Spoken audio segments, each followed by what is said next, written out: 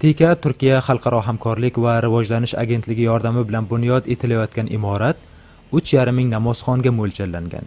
Ikki qavatli birinchi qavati erkaklar ikkinchi qavati ayollar uchun. Ya'ni taqriban e, ikki yil ilgari shuru bo'lgan taqriban bir oy qolganki bu ixtitom bo'ladi ishi taslim beriladi. Va buni mavodlari u zaruriyati va bu yerdan ko'chish qilamizki afg'onistondan va afg'onistonga topilmagan zotini bizlar e, turkiya va erondan biz olib kelamiz. Va baxshi buni e, korgariga soxtimon injeneriga ham afg'on injenerlari bor va ham turkiya injenerlari bor. Va ish ko'p yaxshi pesh ketadi. Masjid keng joyda qurilgan ichida yangi park yaratilib o'tirg'ichlar o'rnatiladi. Do'konlar ham bo'ladi. Imorat ilg'or texnologiya bilan ta'minlanadi.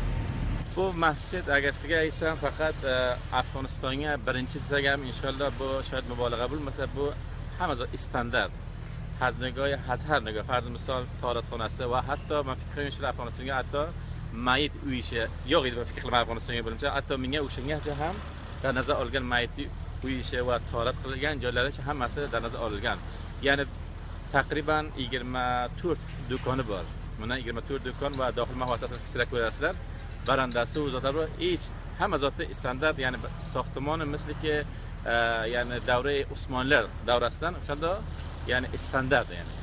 Mazkur masjid bir tomondan shibirg'on uchun madaniy ahamiyatga ega bo'lsa boshqa tomondan shahar qiyofasini o'zgartirishi aniq. Shibirg'on ahli turkiyadan minnatdor. Anqara yordami bilan afg'onistonda qator maktablar shifoxonalar shuningdek masjidlar qurilgan. Shibirg'ondan amerika ovozi uchun abdulbasir ilg'or.